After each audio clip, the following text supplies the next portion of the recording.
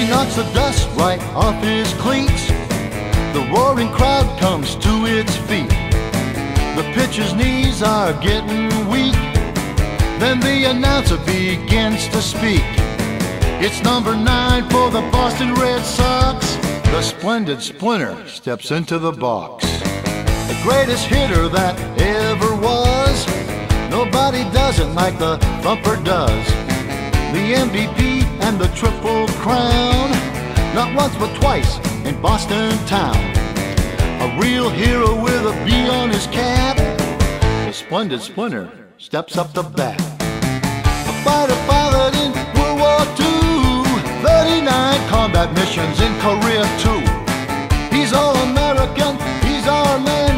So be like Ted and be the best that you can. He's in the Fisherman's Hall of Fame.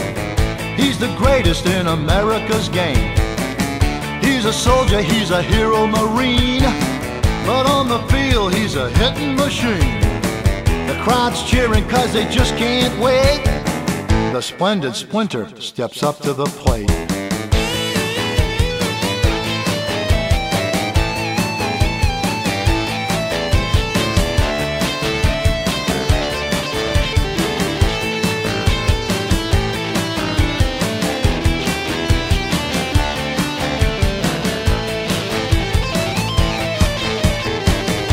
He batted 406 and 41, a feat that since no other player has done.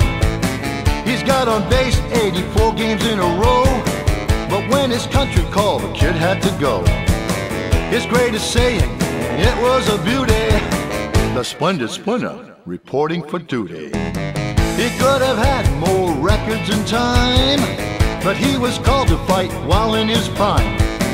He always said that he had no regrets, and that's about as humble as it gets.